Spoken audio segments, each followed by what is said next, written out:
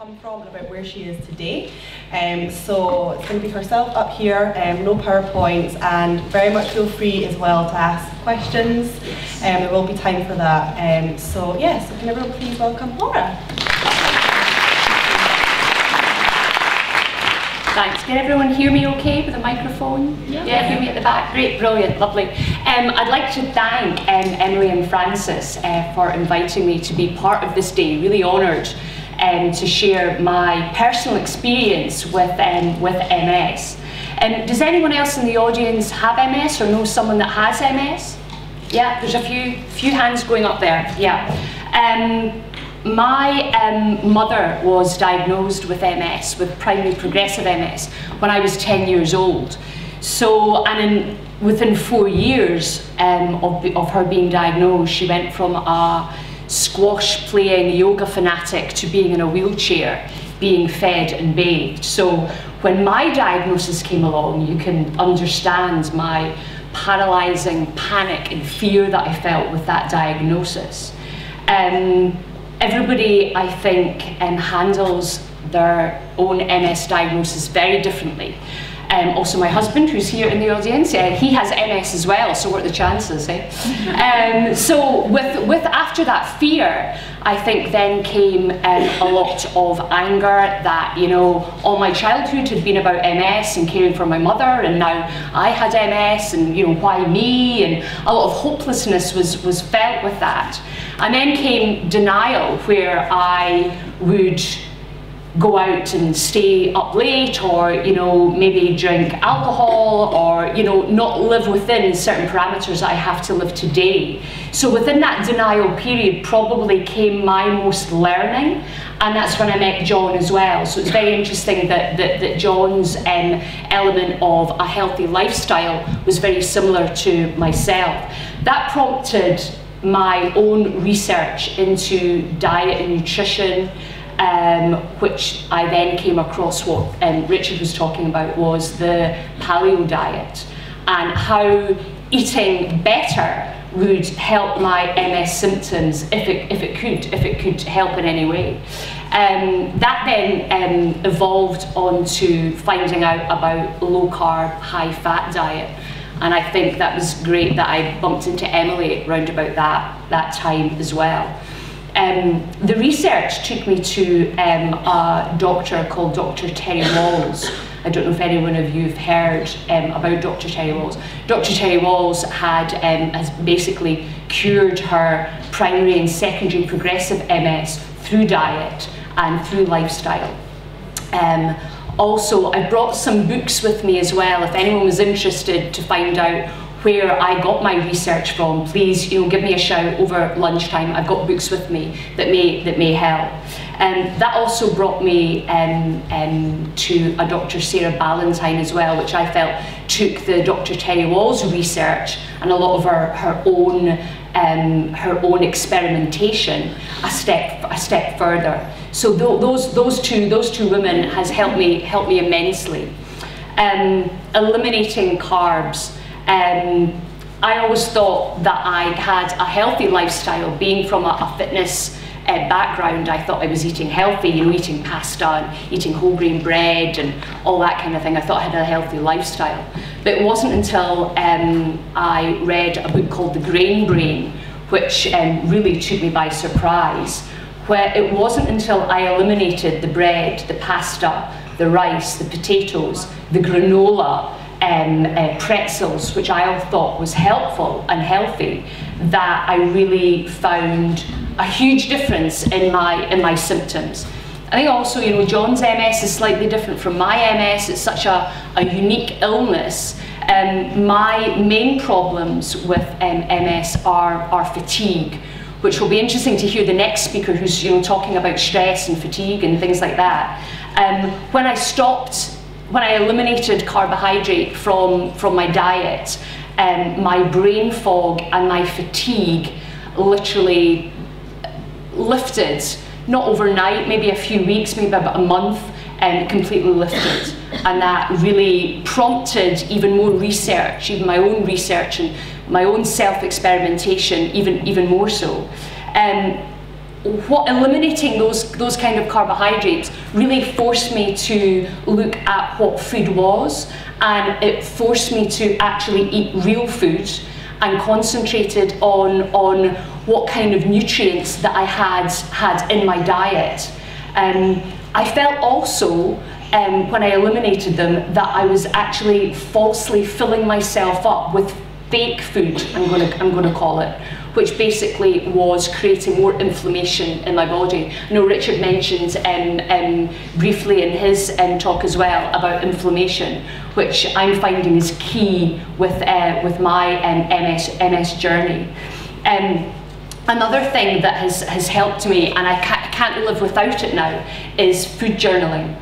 Um, it takes quite a while to then start to log the, the, the timings that you're eating, um, um, but, but tracking your food, mood and sleep um, has really um, made me even healthier and has made me control my MS symptoms even, even more so. Um, I was eating a lot of um, nuts um, and coconut milk um, but actually I found through my food journal that the nuts and the coconut milk were actually causing major problems for me. So when I when I actually sort of tracked back going, you know, why is my fatigue not lifting? Why is my balance really off today? Why is my speech a little bit slurry today? Again, when I've completely eliminated nuts and the coconut milk, not coconut oil, I have a lot of coconut oil in my diet, um, again, lifted my fatigue even, even further. So unless if I hadn't been keeping a food journal, I wouldn't have been able to really critique and tweak my diet even more so. But everything's going to be a, you know, a food journal, everything's going to be slightly um, um, unique for, for every single dif different person. Um, what I have also realised with, with myself and my own diet is that every little counts. I know that if I had for lunch today, and I'm sure it's not on the menu today, Emily, if I sat down and had, you know, a spaghetti carbonara, um, I would probably then go stagger to bed and probably sleep for 13 or 14 hours. So I, it's taken a while and maybe that's in a little bit of a denial stage where it's going, no, I'm going to eat the, these, you know, pasta, I'm going to eat that rice, you know, that's what I want to eat, I'm going to eat that. But the only person that really is has problems with that is only myself, no one else. So I've really had to learn to live within new parameters and new boundaries. But it's not just about, about food for me, it's also about, uh, it's about lifestyle and living within different parameters. Um, I have to be in bed for 7.30 every night, um, otherwise I can't function normally. Um, I work full time. Um, I do a lot of driving with my work, which has, has its own challenges. I got home yesterday at four o'clock and basically crawled to bed so that I would be able to get enough sleep so I could come and you know be, he be here today. Um, so I'm definitely sleeping more, um, exercising moderately, um, as I said, I'm from a sort of a fitness uh, background where I would go to the gym, I would you know try and do classes. Um, there's certain classes, high intensity classes that I can't do now, but I'm exercising moderately, and it's keeping consistent exercise into your diet and lifestyle as well, which is helping with my core, which is then helping with my balance, which is helping keeping my muscles strong, that I'll be able to function like a, a normal person, shall we say. Um, also managing stress, and that's going to be, I'm going to be really interested in the next speaker. Um, stress, especially work-related stress, can knock me for six and really flare up my MS symptoms. So learning to incorporate meditation in a, a in a, a, a daily basis um, is really helping. And I think getting, keeping a, just keeping a, a, a good perspective on life as well. Also with my, myself, and again, my MS is slightly different from my husband's MS, I get a lot of um, neck tension, a lot of muscle tension. Um, so regular massage really helps to keep me, me supple and to keep me relaxed as well, which again helps with my MS symptoms. Um, that's really about, about, about it for me. is there any, has anybody got any questions? I've never, as you can probably tell, I've never done public speaking before, so I don't want to, don't want to bore you all. But if there was any questions that anybody had, please feel free. Yeah. Was it tinned coconut milk or coconut milk directly from the coconut that you said you were possible? Um, well, is it funny? Um, social, I've found social media and Twitter um, a great source of information, and I've connected with um, quite a few other MS sufferers who have got a similar mindset to myself. You know, with the carbohydrate, paleo, uh, ketogenic diet, and it was it was Dr. Terry Wahls said in one of her books that coconut milk really helped her and helped keeping her fat high. But it was another person that said, well, wait a minute, I can't tolerate coconut meat or coconut milk. Maybe try tweaking that or taking that out your out your, your diet. So when I look I looked back at my food journals to see, you know, what did I change, what I had, and coconut milk was in my diet a lot. So again, I thought, right, for the next two weeks, I will eliminate that completely, then let me see what happens. And it was, wasn't until I actually eliminated that that I actually, again, felt my fatigue lifting a little bit more, or my recovery from working full time, or exercising or going to the gym, that I was able to recover a lot, a lot better. Um, and the same with the nuts as well. I always thought nuts, you know, high fat, good fat, you know, that's really going to going to help me. But again, through more research of my own, that the, the, the nuts are quite high in omega six. So I want to keep my omega three levels quite high, but my, my omega six levels quite low. Not eliminate them completely, but again to keep that anti-inflammatory process in my in my body as well. Yes. Well, yeah, and, and, and previously I would uh, uh, love doing um, high impact aerobics, body attack, insanity, and, and those kind of, the, and then after that, then I would go to the gym and, I would, and then I would then I would lift some weights and then I would, I would work on my cardio. That was my level that I had built myself up over the years of being a fitness instructor in the, in the early 90s. What I was finding, and again, it was a psychological thing that I was finding that I couldn't do that level of exercise. Therefore, then that caused me to get depressed because I couldn't do that level of exercise. But again, what I've learned to do is almost unlearn things. So, where, where that was my standard before, I had to go, right, forget that. What can you do now? And I, I, hopefully, I'm coming from a very positive mindset instead of focusing on the things. And there's a lot of things that I can't do that where I used to be able to do it, maybe, let's say, five years ago. I was diagnosed with MS five years ago. So, for example, at the weekend, I'll have to limit what I can do. So moderate exercise will be very different for, for, for, for everybody because someone's warm up here will be someone else's workout. So again, the moderate exercise is finding out what's moderate for, for you as an individual. For me, a moderate exercise is splitting up my weights from my cardio. So I will maybe go in and do maybe 30 to 45 minutes of steady state cardio.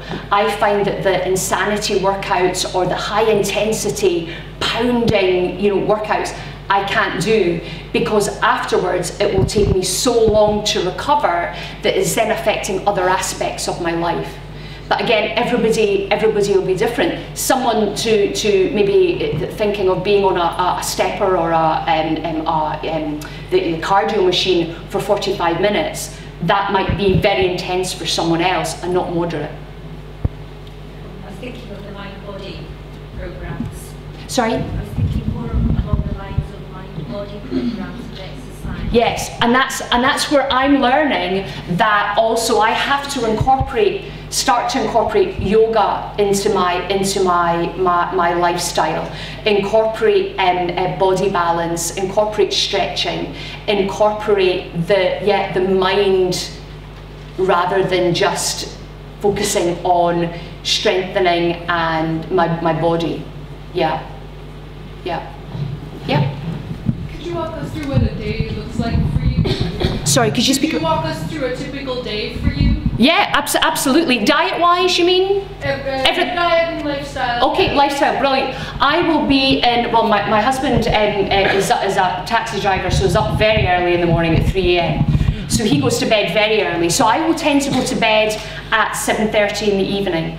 I have to keep a routine um, and again, sort of working with your sort of circadian rhythms. Um, um, I will, um, 7.30, I will put on relaxing music, I will dim the lights, I will then read a book for maybe about half an hour, then do my meditation to relax, bring my stress levels down to go to sleep. When I get up in the morning, I'll then drink half a litre of um, room temperature water with a fresh lemon. I'll drink that. A typical breakfast for me, I think I tweeted a breakfast this morning, Francis.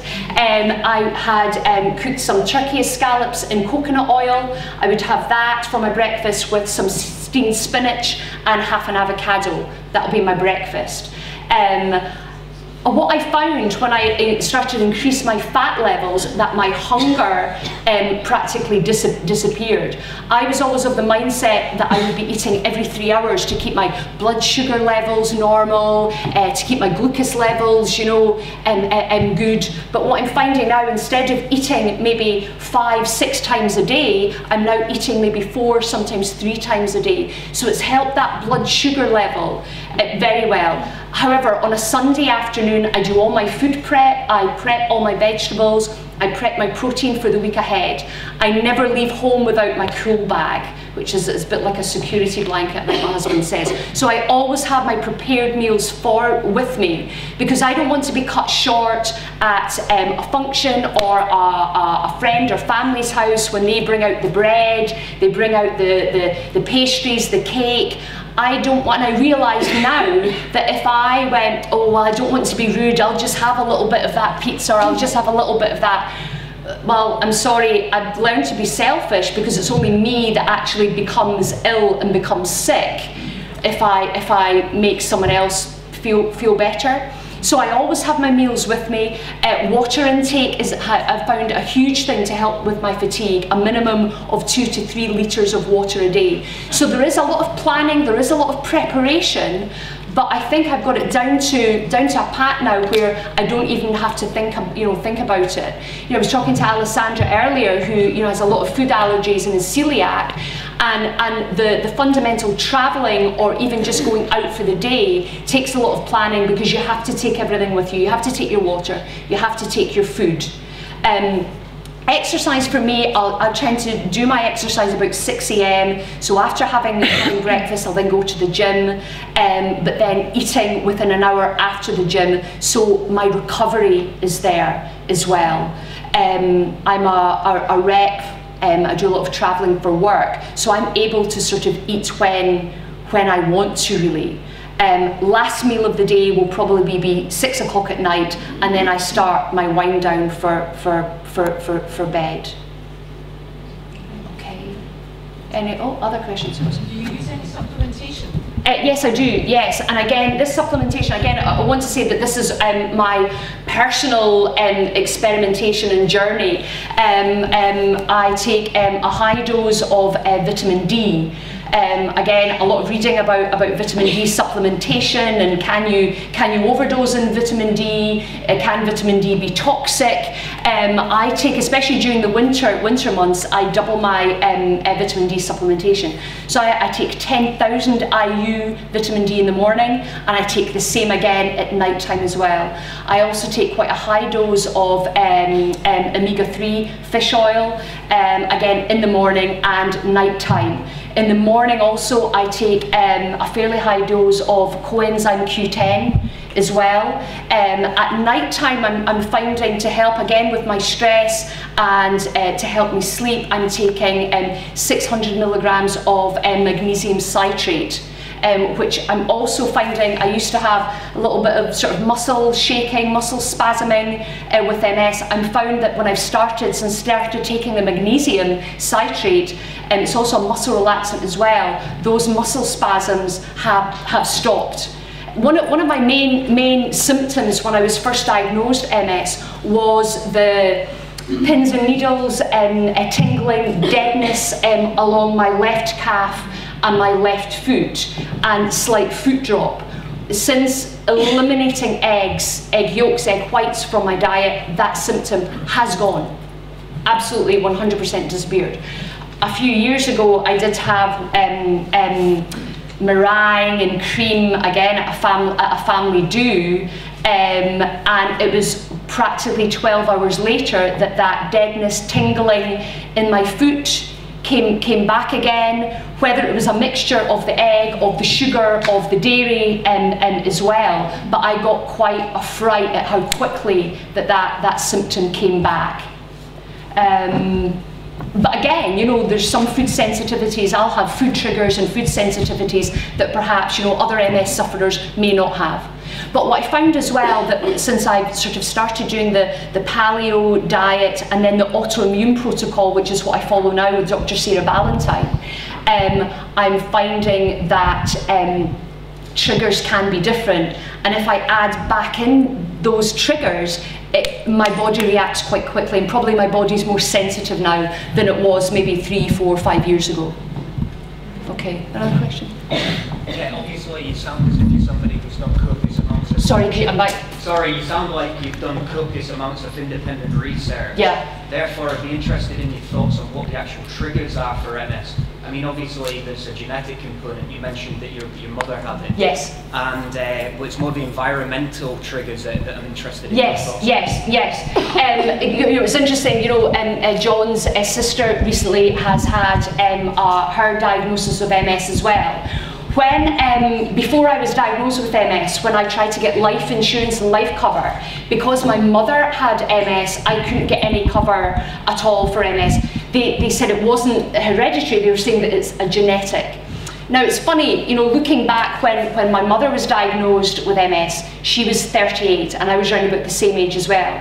Um, I believe that I know what my trigger was for my MS, and again, you're right, it was a stress environment trigger for me. Again, a bit like the moderate exercise, what's one trigger for someone um, or, or, a stressful experience may be stressful for me, may not be stressful for you. So I think it can be, what my, my trigger was, I believe, a very horrible, nasty divorce, I think really triggered a low point maybe in myself that, that, that, that, that triggered that MS. Um, but now I feel that I'm more sensitive to, the, to my environment and I'm more aware of what could potentially trigger a bad MS reaction. But what I've also um, learned to do, and again, um, um, when Emily was talking about a ketogenic and sort of maybe you can sort of test for ketones, what I found is when I was testing for ketones, I felt that I was more focusing on a number rather than listening to my, my body. And again, it's very much not just watching what I'm eating, it's a whole lifestyle thing of keeping my stress levels low, making sure that I'm getting enough sleep, and staying away from toxic people because I find they can be they can be a they can be a big stressor as well, you know. Think we're going to have to leave it there for questions just now, but I if around with Yeah, I'm going to be, I'm going to be sort of kicking about till about lunchtime. I've got um, uh, my contact details with me. If anyone wants my contact details, please, you know, feel free to ask uh, ask them for me. Contact me if anyone else has, has got any other questions at all. If I can help or motivate anyone in a small way, I'd be I'd be delighted. Thank you.